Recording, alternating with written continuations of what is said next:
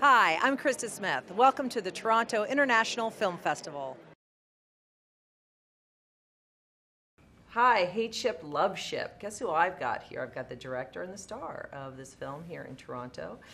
Um, interchangeable. They actually look like you could be cousins or We have a similar hair wave today. Yeah. Similar And hair wave and legs a are the gene same. and a look and a body language and uh, this film is based on the short from the 40s by Alice Munro and I have a lot of questions so I'm just going to rattle them off. Mm-hmm. So tell me about how you guys got together to decide to for well for you to adapt this and make this film.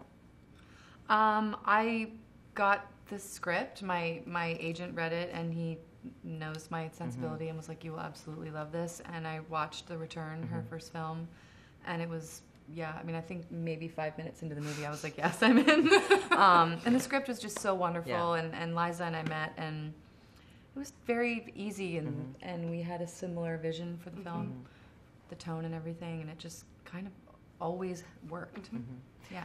And you play someone that we assume is very different from you, very shy, very Not that different. But that's what I'm I'm That's kind what I of curious. think people think because uh, people like get disappointed when they meet me. No, um, because coming from SNL and having a comedic background, I think people assume that you know it's a lot of like a lot of that. like I walk into a room like that. jazz hands. Jazz hands, a lot of jazz yeah. hands, and like characters, and um, I'm really not like that at all. And so I think I'm more like her than you would think. To choose to make this movie clearly it is a huge part of this is your character is a constant caretaker. Yeah. and how much caring is too much? Like how much is smothering? How much is just that's all you do that's all you know how to do?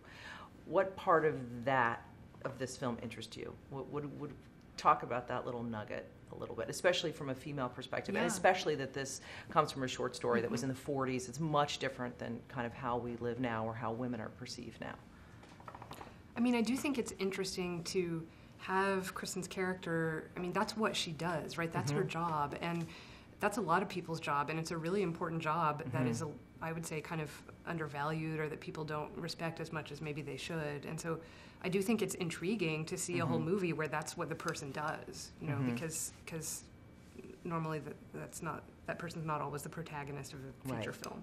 I, I do think it's an interesting question, though, of how much love is too much to mm-hmm. give, and if there is mm-hmm. such a thing, and people do get smothered, mm-hmm. and but you're like, well, if it's love, shouldn't you just like give it all the time? But you do have to find there's a healthy boundary there, and I, I think that's an interesting uh, part of the movie. well it's great to see you guys it was really nice to meet you Nice to meet you. Um, have fun with the rest of the festival.